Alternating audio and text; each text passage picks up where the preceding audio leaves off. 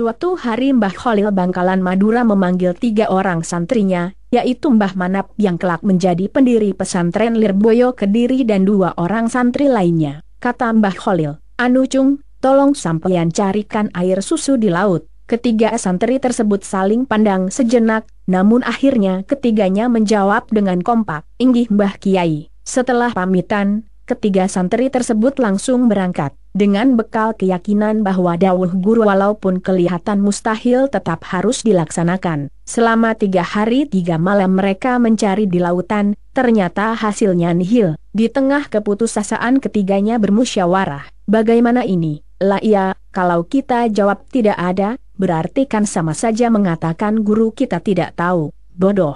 Seperti beli rokok di toko bangunan. Jawab lainnya. Begini saja bagaimana, kalau kita jawab kami belum menemukannya Kiai, kata salah satu santri. Akhirnya jawaban ini yang disetujui oleh dua orang temannya. Lalu ketiganya sowan kembali ke Mbah Khalil dan mengatakan kalau belum menemukan. Oh begitu ya, ayo kalian ikut saya, kata Kiai Haji Khalil Bangkalan singkat. Kemudian beliau mengajak ke tepi laut, mengeluarkan gelas yang dibawa dari rumah dan mengambil air laut dengan gelasnya. Aneh bin ajaib, Ternyata air laut itu berubah menjadi susu. Sekarang mintalah kepada Allah sesuai keinginan kalian dengan lantaranku. Ucap Mbah Khalil Bangkalan. Dua orang santri Mbah Khalil meminta agar menjadi kaya raya. Sedangkan Mbah Manap meminta diberi ilmu yang bermanfaat. Kelak keinginan mereka terkabul. Dua orang santri itu benar-benar menjadi kaya raya, namun kekayaannya habis berbarengan dengan meninalnya. Sedangkan Mbah Manap bisa bermanfaat bagi orang banyak